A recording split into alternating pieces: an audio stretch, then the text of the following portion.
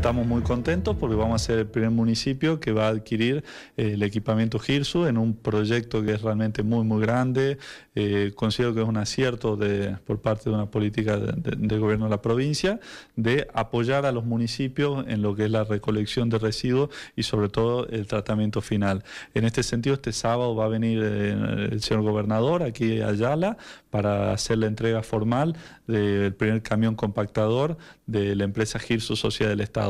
Así que muy contento con, este, con esta adquisición, un camión Scania de primera marca, primera calidad, eh, va a venirnos muy bien. Y también es un reconocimiento por el trabajo que venimos haciendo como el único municipio que trabaja eh, de manera diferenciada eh, nuestros residuos, que hacemos el compostaje, que hacemos el tratamiento y hacemos el reciclado aquí en nuestra localidad de Yala.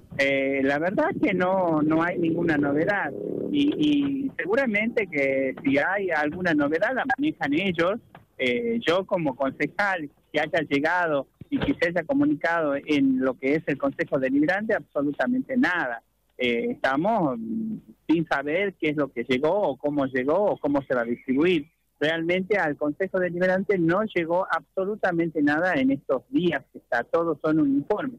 ¿Y cómo será que casualmente ese lugar donde inauguraron el tiempo de campaña e hicieron todo, que es el lugar en donde se va a compactar o se va a clasificar la basura, este haya sido una inauguración vacía y que no esté trabajando y esto esté totalmente cerrado. Eso habla a las claras de que por ahora no quieren comunicar absolutamente nada de lo que es este proyecto GIRSU. Ahora no, más allá de la entrega de los dos camiones de colectores para Monterrico, que se hizo acá en Jujuy, no llegaron todavía, ¿no? Lo único que llegó fue la pala cargadora, pero que no corresponde al plan Kirsu, y los camiones hasta el día de la fecha, hasta hoy a la mañana, no, no llegaron todavía. O sea, se anunció que llegaban los dos camiones, pero no llegaron a, Monterrico. No, se anunció, se hizo la entrega de la llave, todo formal acá, pues vimos las fotos del intendente Carlos Ibarra, pero hasta el día de hoy en Monterrico no se los ve a los camiones andando por ningún lado, ni tampoco en los galpones del, municipio. ¿no? hemos tenido novedades todavía, eh, sabemos de que se están entregando en el municipio, inclusive antes de la última elección también se, estuvieron entregando acá nomás cerca en Ciudad Perico, pero bueno, para el Carmen en concreto todavía no, no hemos tenido ninguna comunicación tampoco al respecto. ¿no?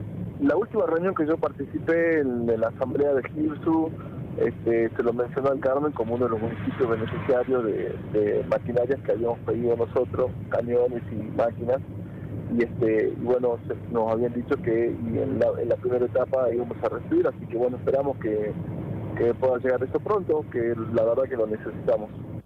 Mire, no, no, tenemos entendido que Perico no llegó ningún tipo de maquinaria, ni camiones, ni máquina pesada, eh, absolutamente nada, no, no tenemos conocimiento de que haya llegado al municipio eh, en momentos de campaña, hemos visto algunas imágenes tanto por las redes sociales o por ahí por los medios escritos donde se salía la foto, varios intendentes de toda la provincia, pero bueno, a Perico todavía no, no llegó nada concretamente, ¿no?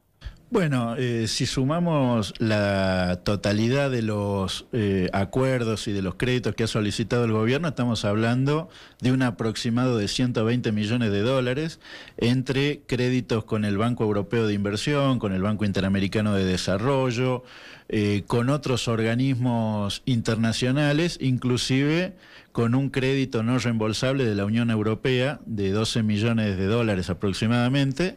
Eh, todo eso hace una suma de 120 eh, millones de dólares para un proyecto que todavía eh, está ni siquiera en los principios de, un funcionamiento. Ahora se está anunciando la entrega de vehículos pero únicamente esos vehículos son para transporte de los residuos. O sea que la etapa del tratamiento, de la clasificación y de la recuperación de los residuos este, todavía está muy lejos de, ver su fruto, de ver su capacidad de funcionamiento.